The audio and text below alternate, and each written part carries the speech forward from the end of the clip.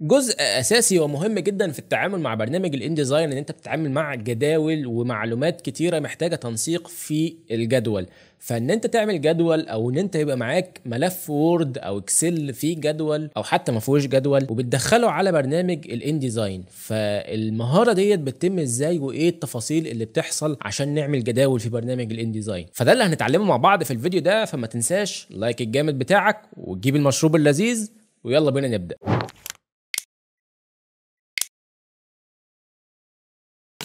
السلام عليكم ورحمة الله وبركاته. يا هلا والله أنا عمرو عطلة وبسم الله الرحمن الرحيم كده تعاملنا مع الجداول. فهنبدأ من ال basic خالص. إزاي نبدأ ننشئ جدول عندنا؟ فبنلاقي عندنا من ضمن ال tab ات المخصصة في برنامج ال InDesign فوق في tab اسمها Table فبنضغط على ال option ده كده وبنلاقي عندنا اختيار اسمه Create Table وطبعا ال shortcut بتاعه جنبه كده فهو كبير شوية. وهيجي هنا عندي يقول لي المعلومات الأساسية بتاعه الجدول بتاعك دي عبارة عن إيه. فالمعلومات الأساسية هي الصفوف والأعمدة.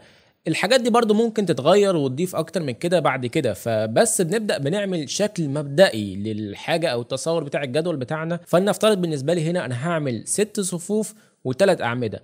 وبرضو ال direction وكل الحاجات ديت بنبدأ إن إحنا نشكلها زي ما نحب في التصميم بتاعنا واحدة واحدة. فهنيجي هنا ندوس على OK وهيجي هنا يقول لي بقى ابدأ ارسم المكان أو المساحة اللي أنت عايز تحط فيها الجدول بتاعك.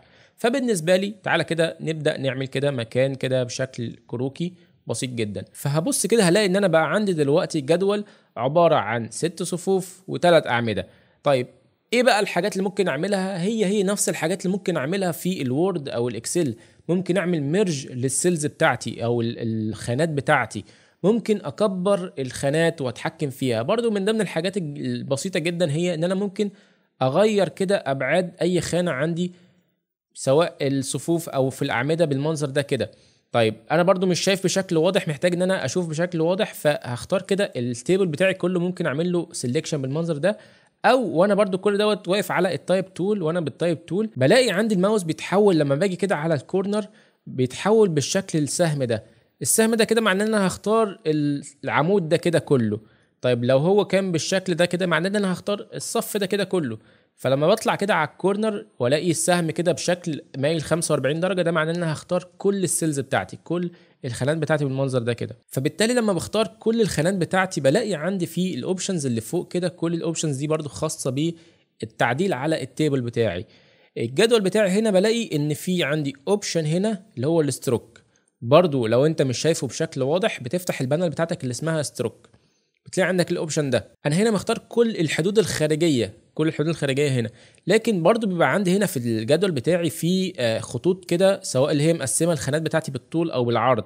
فلما بختار كله كده بالمنظر ده كده بعمل selection لكله كده ده كده معناه إن أنا بختار كل الخطوط اللي موجودة عندي في الجدول. فبالتالي لما باجي أزود ال weights عندي في الجدول بالمنظر ده كده بص بزود كده القيمة بتاعتي. تعالى كده نتك بره بص بالمنظر ده كده أنا زودت إيه؟ ال table بتاعي بس الاقي عندي هنا في لمبة ال error زي ما إحنا متعودين. ال error بيقول لي إن هنا في عندي مساحة مش باينة من الجدول بتاعي في ال frame بتاعي فهزودها بالمنظر ده فما بقاش عندي error. وده لأن أنا عمال لسه بشكل في الجدول بتاعي. بس أنا دلوقتي إيه بدأت إن أنا أفهم أنا محتاج أزود الجدول بتاعي أو أصغره إزاي أو أشكله إزاي. برضو من ضمن الحاجات إن أنا ممكن ما أتحكمش بس من كله كده مع بعضه لأ هرجع تاني على ال Type Tool أختار الجدول بتاعي. أنا محتاج بس أتحكم فلنفترض مثلا أنا هلغي كل الخطوط الخارجية فأنا هاجي كده هختار الخطوط الخارجية بالمنظر ده كده وهاجي على ال weights بتاعي هخليها فلنفترض zero يعني مش موجودة خالص وهبص كده بص أنا قسمت الجدول بتاعي عملته بالمنظر ده يعني أنا عندي حالة ممكن أعمله بالمنظر ده برضو براحتي جدا أدوس كده W هرجع تاني أجيب الشكل بتاعي وتعالى نرجع تاني نخليه العادي بتاعنا عشان نشوف شكل أفضل وهخلي ده برضو إيه ال weight بتاع ال stroke بتاعي 3 تمام؟ برضو من ضمن الحاجات إن أنت ممكن تتحكم في ال style بتاع الخط بتاعك. لو خدت بالك هنا كده ده ال type بتاعك هنا ممكن تختاروا أي حاجة. هو على ال solid by default ممكن تختاروا أي حاجة. دي برضو من ضمن الحاجات ال styleات اللي ممكن تعمل بيها جدول حسب اللي أنت محتاجه. طيب حاجة كمان بنحتاجها مهمة جدا في الجداول بتاعتنا هي إن أنا بحتاج إن أنا مثلا أدمج مجموعة خانات مع بعض. فلنفترض ده كده عنوان الجدول بتاعي. فمحتاج أعمل لهم merge مجرد ما بختار مجموعة الخانات اللي أنا محتاج أعمل لها merge أو أدمجها بلاقي عندي ال option اللي فوق هنا ده كده. ال option ده بتاع merge cells لما بدوس على ال option ده كده بلاقي إن هو لغى لي التقسيمة اللي كانت هنا. فبقى ده كده كله خانة كبيرة لوحدها. برضو ممكن أعمل merge لخانتين كده أو خانتين كده. ممكن بعد ما أعمل merge للخانات دي كده ألاقي إن أنا لأ محتاج إن أنا أرجعهم زي ما كانوا تاني. فهعمل selection للخانة دي كده بالشكل ده كده ممكن أعمل لها selection بالشكل كده بقف على الجنب زي ما اتفقنا. السهم بتاعي يقول لي أنت محتاج تختار إيه الصف ده كده فأنا هختار الصف ده كده. وهرجع تاني هعمل لها unmerge cells. الاختيار اللي تحت الميرج على طول. هدوس عليه كده فلغالي الميرج ورجعها لي زي ما كانت. برضو فلنفترض مثلا أنا عايز أبدأ أكتب كده.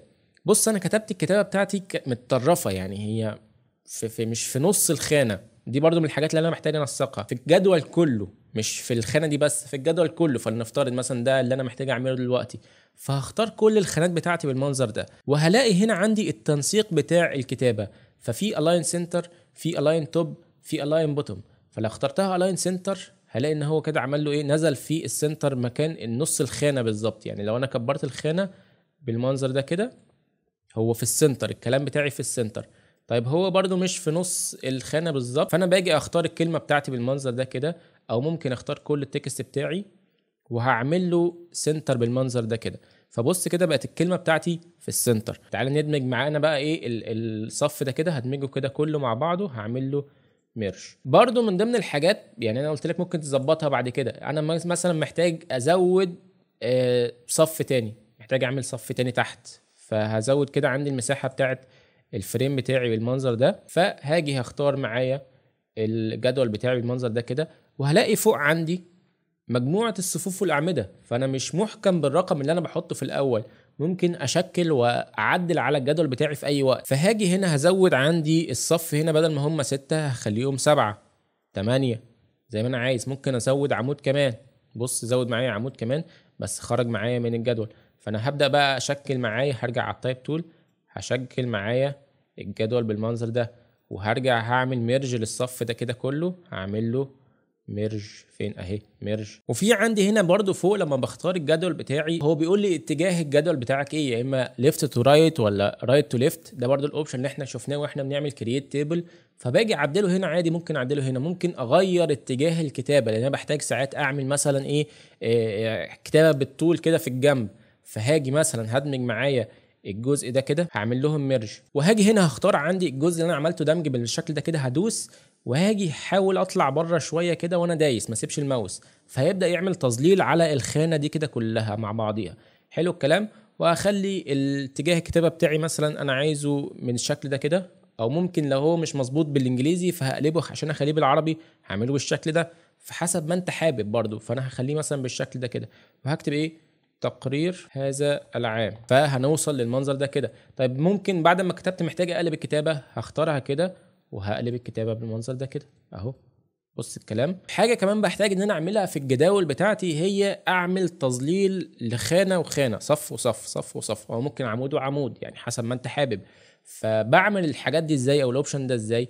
هاجي طبعا زي ما إحنا متفقين هختار الخانات بتاعتي أو الجدول بتاعي كله بالمنظر ده كده.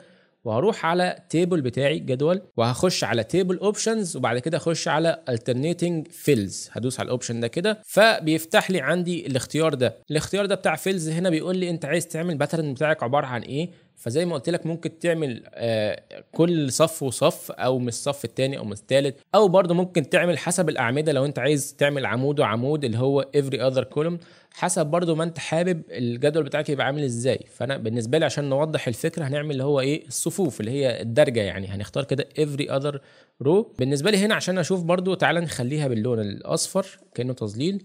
وال opacity بتاعتها خليها مثلا 100% يعني في عندنا هنا برضو option ال preview ده بنفعله كده عشان نشوف بس عشان إحنا عاملين تظليل مش باين معانا قوي. تعالى كده ندوس okay وتعالى نشيل التظليل. بص كده اللي حصل معانا. هو عمل تظليل بالمنظر ده.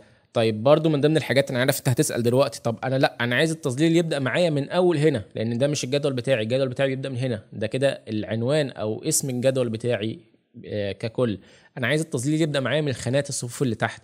جميل جدا أنا معاك. تعالى كده نبص هنعملها إزاي. هنختار برضو الجدول بتاعنا زي ما إحنا متفقين table بعد كده table option وبعد كده alternating fills وهلاقي عندي هنا في حاجة اسمها skip first ففي عندي skip first وفي عندي skip last بالنسبة لي هنا أنا عايز أعمل skip لايه لأول صف أول row بالمنظر ده كده. فأنا عايز ألغي أول row معايا فاعمل له skip بالمنظر ده. بص حصل معايا هنا إيه؟ نزل لي التظليل من أول row. الصف الأولاني كده اتعمل له skip أما بالنسبة ل skip last اللي هو العكس من تحت بقى هعمل skip للتظليل. هبص معايا آخر صف ده كده لو عملت له skip شال من عليه التظليل. فممكن برضو نعمل skip لكذا row فهعمل skip لصفين عشان يبقى معايا التظليل بالمنظر ده كده. وهدوس okay. فبص معايا الشكل بقى بالمنظر ده كده.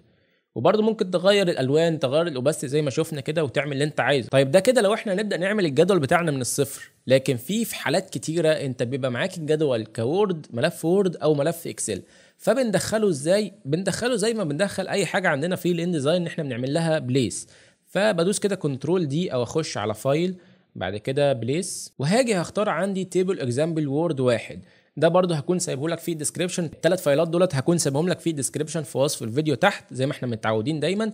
هتختار معاك أول واحد ده اللي هو table example Word واحد وتدوس open بالنسبة لي هنا بيقول لي هتبدأ تحط الجدول بتاعك فين فمفيش أي مشكلة هبدأ أرسم الجدول بتاعي بالمنظر ده.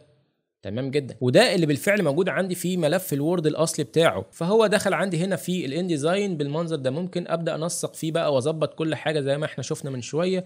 أخلي ال text هنا كده واخليها بالمنظر ده فببدأ أنسق الجدول بتاعي أغير بقى ال font ال size بتاعه أغير ال stroke بتاع الخطوط بتاعتي أعمل fill alternating fills فكل الحاجات دي ممكنة. لكن بتواجهني مشكلة بقى إيه؟ بص الحتة اللي جاية دي بقى. الملف الثاني ال Word بتاعي اللي هو table example Word 2 ما فيهوش جدول. هو عبارة عن إيه؟ أنا عامل tab ات أو مسطرة. ففكرة إن أنا ما فيش عندي تقسيمه جدول أصلا في ال Word وعايز أدخل ده يخش عندي بالمنظر ده كده يخش عندي كأنه جدول في ال InDesign فبنعمل كده إزاي؟ فباجي عندي بنفس الخطوات عادي جدا control D وأبدأ أدخل معايا table example Word 2 ده كده وهاجي هرسم كده text frame بالمنظر ده.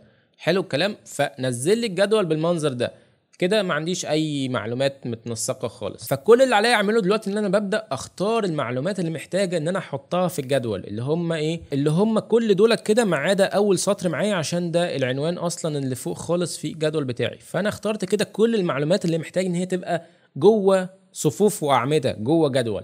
حلو جدا الكلام لغاية كده بخش على اختيار بسيط جدا بخش على تيبل وبعد كده convert text to table اختيار بسيط جدا. جدا. بس بص ليها وقع السحر؟ فبتخش كده عليه فبيقول لك هتحول ال tabs بتاعتك وكل ما بتدوسش أي حاجة كل حاجة متظبطة. تك على okay.